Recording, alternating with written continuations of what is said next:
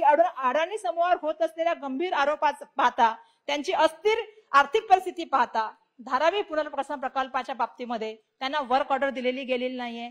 ती work order सध्या देऊ नये अशी मागणी आमच्याकडे होते. तसं मला सांगावं आपण करणार का हा माझा पहिला प्रश्न?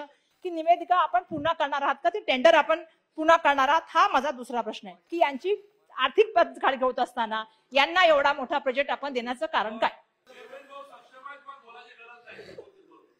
खरं म्हणजे मला असं वाटतं की लोकसभेतली चर्चा आता विधानसभेत यायला लागली.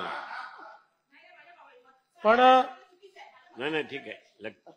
पण सन्माननीय वर्षाताई पहिल्यांदा तर याची जी काही प्रक्रिया झालेली ती पूर्ण पारदर्शीप्रमाणे झालेली आहे. ग्लोबल टेंडर काढण्यात आलं होतं. त्या ग्लोबल टेंडरमध्ये तीन लोकांनी त्याला रिस्पॉन्स दिला. त्यातल्या दोन लोकांचा रिस्पॉन्स हा प्रॉपर होता एकाचा प्रॉपर नव्हता. ज्या दोन लोकांनी दिलं त्याच्यामध्ये जो हायएस्ट बिडर आहे त्याला हे देण्यात आलेलं आहे.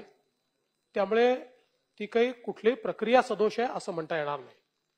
दुसरा मुद्दा असा आहे की अद्याप आपण याचा एलओआय त्यांना दिलेला नाही. याचं कारण टेंडरच्या प्रक्रियेप्रमाणे सगळ्या विभागाचे निर्णय झाल्यानंतरच आपल्याला एलओआय देता येईल.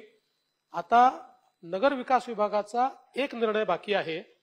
तो झाल्यानंतर या संदर्भातला एलओआय देण्यात येईल. तिसरा जे काही त्यांची पत कमी आहे जास्त आहे वगैरे मुळात हे टेंडरच अशा प्रकारे डिझाईन करण्यात आलेलं आहे की याच्यामध्ये त्यांनी अपफ्रंट पैसे किती दाखवायचे आहेत द्यायचे आहेत आणि उरलेली बँक गॅरंटी द्यायची आहे.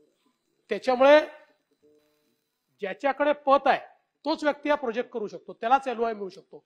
हा प्रोजेक्टच आपण असत आहे कारण काय कन्स्ट्रक्शन करणं यातला मु- मुख्य मुद्दा नाहीये. कन्स्ट्रक्शन तर करावंच लागेल. रिहॅबिलिटेशन करावंच लागेल.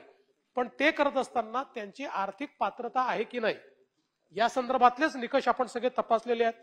त्यामुळे एलओआय द्यायच्या आधी त्यांना आपली आर्थिक पत आहे की नाही हे दाखवावं लागेल.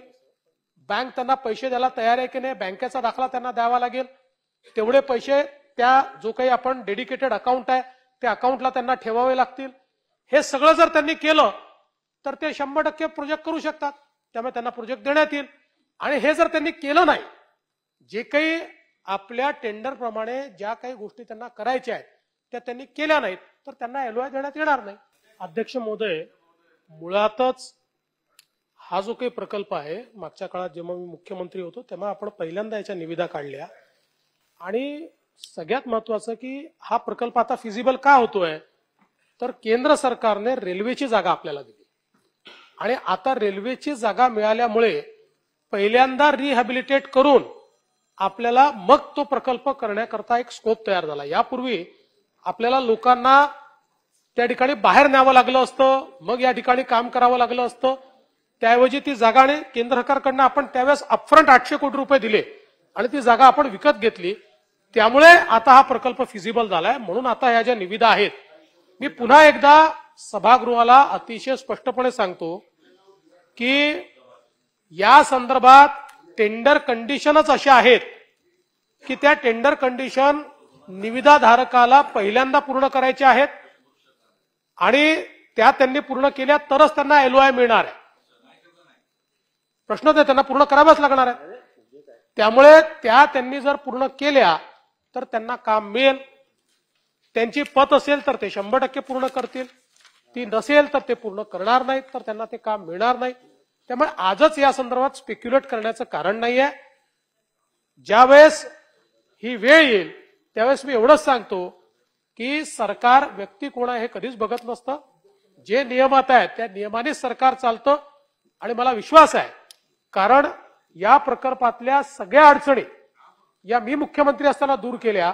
आणि त्याचं पहिलं यशस्वी टेंडर त्यावेळेस मी काढलं. मात्र त्यावेळी असं झालं की आपल्याला ही जागा मिळाली आणि ही जागा रेल्वेची जागा मिळाल्यावर एजींनी सांगितलं की याचा पुन्हा तुम्ही टेंडर काढा. आणि म्हणून ते पुन्हा टेंडर निघालं आणि आता ते टेंडर अशा प्रकारे यशस्वी झालंय. कुठल्याही परिस्थितीमध्ये कुठल्याही अडचणी न येऊ देता धारावीचं पुनर्वसन झालं पाहिजे हा सरकारचा आग्रह असेल आणि ते काम आपण पूर्ण करू. माननीय आलंय. महोदयांना माझा प्रश्न आहे की किती काळात धारावीचं सगळ्या सेक्टरचं रिडेव्हलपमेंट पूर्ण होईल. किती काळात होईल? असा माझा प्रश्न साधारणपणे सात वर्ष याला लागतील असा प्राथमिक अंदाज.